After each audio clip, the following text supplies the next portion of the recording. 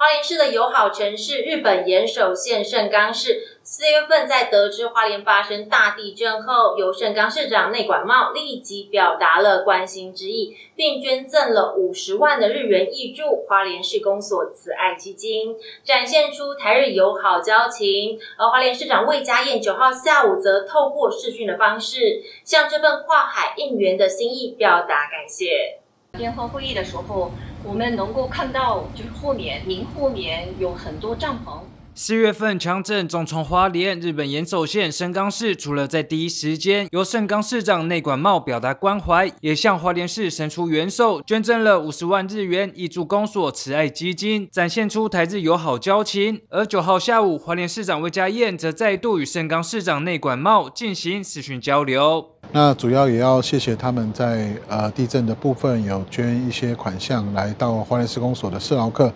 那也要借此讨论呃我们五周年的一个相关的一个事宜。那在这边我也要拜托我们呃深冈市，那也要先谢谢他们呃岩手县有前阵子有登一篇非常大的一个报纸，然后也跟我们说呃花莲加油，那也要非常谢谢他。那展现我们呃粮食的非常友好的一个情谊。那在这边也要拜托我们内关贸市长。